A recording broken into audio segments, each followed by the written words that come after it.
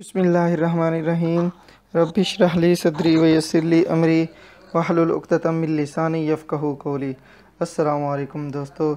Educators job के हवाले से एक बहुत बड़ी अपडेट है। जैसा कि आप सामने देख सकते हैं ये वेबसाइट है स्कूल एजुकेशन डिपार्टमेंट की तो यहाँ पर आप सीटें चेक कर सकते हैं। लेकिन उससे पहले मैं आपको ये बता दूँ कि सीटें को, के बारे में क्या अपडेट है, ये मैं पहले भी इसके बारे में बता चुका हूँ, आपको सामने नज़र आ रहा होगा। ये हमारा फेसबुक का जो नेटवर्क है, उसकी एक झलक है। इसमें मैं डेली शेयरिंग करता रहता हूँ।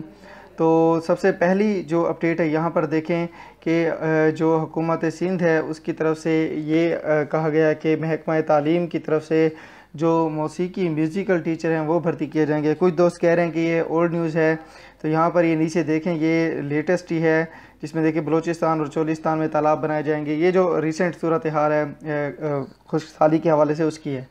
तो लेकिन उसके बाद जो एक नई अपडेट आई है, वो ये भी है कि देखें, वफाकी कबीना के अजलास में अहम फैसले, इसका अगर पहला पॉइंट देखें तो यहाँ पर उन्होंने कहा कि तरक्याती मनसूबों के अलावा तमाम नई भर्तियों पर पाबंदी लगा दी है। अब इसका मतलब ये है कि हुकूमत पंजाब ज़ाहरी बात है, हर काम में वो सिंध को पैरवी करते हैं लास्ट दो तीन सालों से। लेकिन अब वो देखें, टीचर भर्ती करते हैं, तकरीबन हर साल करते हैं के पी के में भी करते हैं। लेकिन पंजाब ने 2018 के बाद अब से अभी तक सीटें नहीं आई। अगर हम ये देखें कि कितनी सीटें खाली हैं, लास्ट टाइम मैंने आपको बताया भी था कि देखिए, तकरीबन अठानवे हज़ार सात सौ पच्चीस, तकरीबन अगर हम इसको राउंड राउंड ऑफ़ करें तो ये तकरीबन निन्यानवे हज़ार बन जाएँगे। इतनी सीटें खाली हैं, पंजाब के अंदर स्कूल एजुकेशन डिपार्टमेंट में। सिर्फ़ और सिर्फ़ अगर हम ये देखें कि जो प्राइमरी स्कूल टीचर हैं वो तकरीबन सतावन हज़ार के करीब फिफ्टी सेवन इतनी सीटें खाली हैं। उसके बाद अगर एलिमेंट्री लेवल पे देखें तो तकरीबन तेईस हज़ार बनती हैं। उसके बाद बाकी भी और एस जो सब्जेक्ट स्पेशलिस्ट होते हैं, ये सीनियर सब्जेक्ट स्पेशलिस्ट होते हैं, तकरीबन उनकी आठ हज़ार सात सौ नब्बे सीटें, इतनी सीटें खाली हैं।